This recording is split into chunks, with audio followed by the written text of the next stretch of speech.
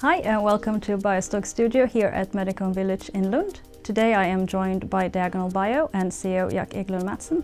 Hi Jack and welcome. Thank you and thanks for the chance to be here today. Let's start very basic. Uh, what do you do? So Diagonal Bio is a groundbreaking diagnostic company with the vision to limit uh, the spread of infectious disease worldwide. We want to do that by creating an easy to use, cost efficient, quick and accurate diagnostic platform for testing all different types of pathogens. You are still quite a young company. You were founded last year. So at the moment, what are the most important activities that you are performing to ensure a successful launch of your, of your product? Right now, we are implementing a quality management system. We will also start the regulatory process soon. And then together with medical, medical doctors, we are trying to narrow down the specific disease areas for which we should set up a clinical studies.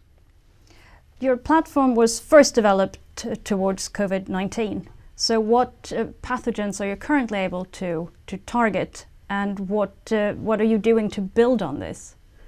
You can say that we have tested a lot of different uh, uh pathogens on the system. So we tested different bacteria, viruses and fungi. And together with these medical doctors that I talked about before, we're trying to narrow down specific disease areas and also different pathogens to focus on.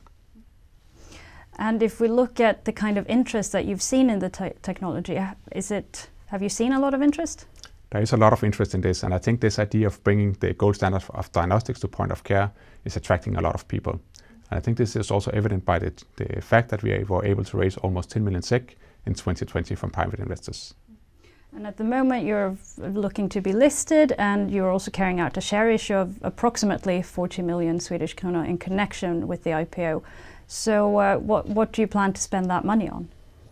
Uh, we are currently implementing a quality management system and again the, the, regulatory process, we need to start that very soon. And then we'll also set up new uh, clinical studies in different disease areas. So that will take out a lot of the, the first in, uh, round of in, uh, financing. And if we look a little bit further ahead, where do you see the company in the long term? I think you could say the launch of PanViral will just be the first of many products. So we will go into different disease areas, also parallel and multiple patient testing. Well, it sounds like you have an exciting journey ahead of you. Absolutely.